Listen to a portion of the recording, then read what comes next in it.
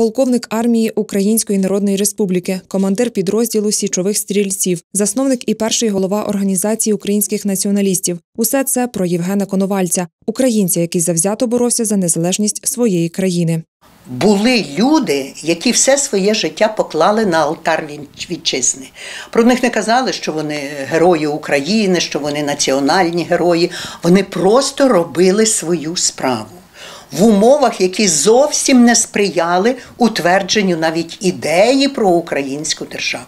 Народився Євген Коновалець у вчительській сім'ї в селі Зашків, що на Львівщині. Його дід Михайло був священиком. Навчався майбутній полковник у Львівській академічній гімназії. Згодом вивчав право у Львівському університеті. В студентські роки вже мав чітку громадянську позицію. Був причетним до розвитку просвіти. У 1914-му хлопця забрали в австрійську армію. Потім Євген потрапив у російський полон. До Києва повернувся лише через три роки. Познайомився з Симоном Петлюрою.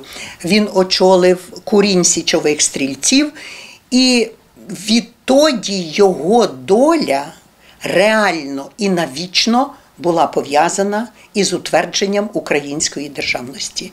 Бував Євген Коновалець і на Поділлі, зокрема у Старокостянтинові, де приймав присягу у Шепетівці та в самому Проскурові. У 1922 році чоловік був змушений емігрувати. Жив у Чехословаччині, Німеччині, Швейцарії, Італії. Та й там не полишав головну ідею створити незалежну Україну. Свою місію ніс все життя. Кілька разів на життя громадського та політичного діяча скоювали замахи агенти з Москви. 23 травня 1938 року вони таки зробили свою справу. Генерал КДБ Павло Судоплатов біля кафе Атланта у Роттердамі передав полковнику пакунок. Сказав, що там коробка з цукерками, а насправді ж була вибухівка. Хоронили його як справжнього великого українця.